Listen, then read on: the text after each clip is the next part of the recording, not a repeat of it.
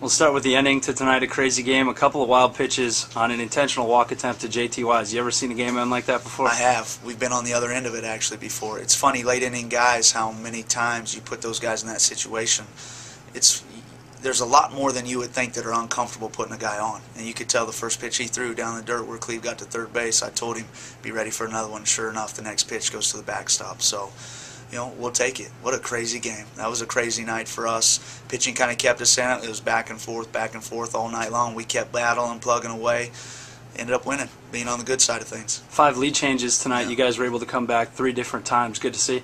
Great to see. You know, we were never out of it, like I said. Well, and I kept pounding uh, Foltzy, Pop, all of us throughout every inning we came in. Let's keep grinding, keep grinding, keep giving ourselves a good chance. Still got to get better situational hitting. Driving me bonkers the way we're situational hitting. We've got to get better at some point, and we have to make some adjustments one way or another. Either we're going to get it done, or we're going to have to make some adjustments on, on our end of things. But uh, got to get better. We'll take it though. Any way we can get it, we'll take it. We've done it many different ways this out th- throughout this year.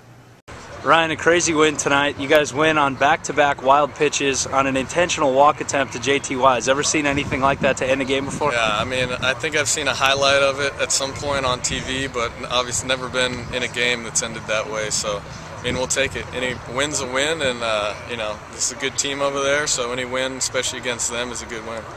We've had to see a couple of pitchers hit now of late because of some depth issues, a couple of injuries as well. Yeah. You have any advice for those guys? We've seen Clip hit today, Van Skyke. We've seen uh, Alan Williams. Any advice for them? Yeah, try, try to see something straight and put the barrel on it. Really, I mean, Clip's had, Clip had some good swings, but it, you know, it's always rough for those guys. Obviously, haven't probably, if they've ever done it, haven't done it in a long time. So, you know, they went up and battled, but like you said, it's tough to see Colt go down like that and have to come out of the game. And obviously, we got our second baseman on a little vacation in Cali right now. So, you know, it is what it is, and we, you know, we got to go out there with the guys that we got. So, it makes it even more important for you know the other guys to battle and try to put some runs across. Appreciate the time, Ryan. Anybody you want to say hi to back home before we let you go? Uh, just my dad and my mom. Uh, my mom's in Cali, probably watching, and my wife's here with me right now. So, that's obviously good. So that's about it.